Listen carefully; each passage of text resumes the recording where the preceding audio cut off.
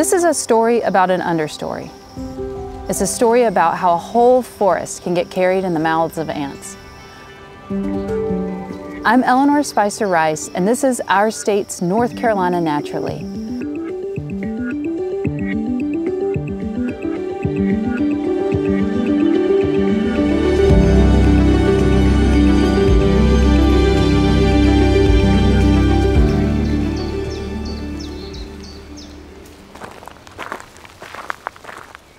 Okay, we're gonna turn in here and we're gonna go up. Look at that tree. I think this is one of the prettiest trees in Raleigh. Look at her. Isn't it beautiful? Look how her branches come out. She is really good looking. It's natural to look up when we're surrounded by the tall trees. But today, let's look down to our understory, to our herbs, our wildflowers, our ferns, our fungi, and our insects. North Carolina's natural carpet is made up of heart shaped wild ginger, which flows into the fragrant hyacinth in the mountains. Sweet little Betsies dot the Piedmont with their deep magenta flowers, and trails of bellwort shoot up from the ground all the way to the coastal plain. These plants are just a few of the species that make up North Carolina's forest floor, our understory. A healthy forest needs a healthy understory. Here, roots and leaves hold water close to the floor, quenching the trees above and cleaning the nearby streams and rivers. The world underfoot determines the world above. This massive, splendid realm must first be carried in the mouths of ants. Let's see. Citronella ants. Look. Those are the males, see? They look nothing like the ants. And smell them. Look, they smell like citronella. You can sort of smell it, just a little bit, not a lot. Oh yeah. They smell like citronella. Let's sniff. Ants play an extremely important role in the development of this whole forest. They aerate more soil than earthworms. They keep all the forest pests in check by climbing up the trees and eating them above and below. And one of the most important things that they do is they plant the seeds of our wildflowers and our herbaceous plants, like this ginger here. Oh look, there's some wild ginger, look. And it's forming a trail over here. This is a good sign that we've got some ants that are dispersing their seeds. Many of our herbs and wildflowers need ants to thrive. When the plants produce seeds, they wrap them in a fatty, protein filled cloak. This cloak smells like heaven to only one type of creature ants. The ants pick up the cloaked seed and carry it home. There, they eat only the cloak and deposit the seed in their trash pile, rich with nitrogen and other special ingredients to help the seed grow. Some ants even treat the seed with antibiotics to protect it from disease. North Carolina has more than 250 different species of ants that we know about that crawl through our lawns and in our forest. And they're each doing something special and something different to keep our environment running smoothly. Not every ant is created equal in our forest, however.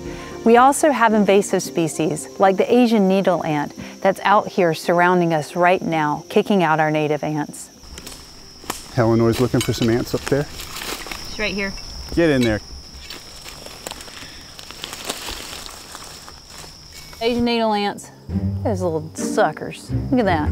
The Asian needle ant has come in and kind of bullied other species of ants out of the way. We kind of uh, want our environments to not get too disturbed. When big disturbances happen, that equilibrium is difficult to maintain. It's difficult to come back to. Jeff Baum has a PhD in entomology, and like me, he spends a lot of time looking at the ground.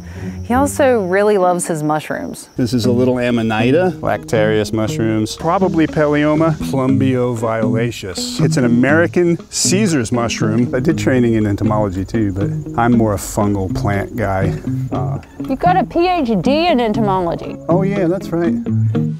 North Carolina has a great diversity of wildlife and plant life. You know, we are five minutes from a major city right now. Uh, we're sitting in a beautiful little woodland that is teeming with life. We have a nice equilibrium here. We have a nice balance of fungus and plant and insect and other animal life that maintains these forests. But there are certain things that can happen, like as uh, the invasive species might come in, like uh, the Asian needle ant, and kind of push the other ant species out. We could lose certain plant species. They may become more rare and difficult to see in the, in the forest.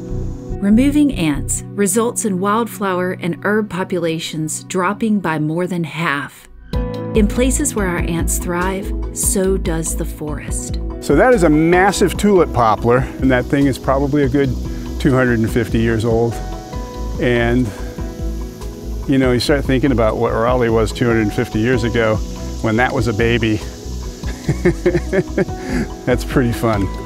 North Carolina is it's highly ranked in amount of forested area we still have. So uh, we're pretty lucky in uh, the, the wildlife and diversity we can study. So it's kind of amazing how resilient and beautiful this can be. And uh, these are things we can take care of to kind of help us take care of the ecosystem that supports us in the long run. Because we have mountain streams and waterfalls, sandy pine sands, and rich, dark hardwood groves, North Carolina grows abundant with some of the most beautiful wildflowers and herbs on earth. Look down, see the flowers. Look closer, find the rusty ballerina who planted her glorious patchwork, about the size of a grain of rice, tending to her vast garden. This video is sponsored by the Southern Environmental Law Center. To learn more about how ants carry the whole forest in their mouths, read the story in the March 2025 issue of Our State magazine or on our website using the link below. To see more videos like this, subscribe to the Our State YouTube channel.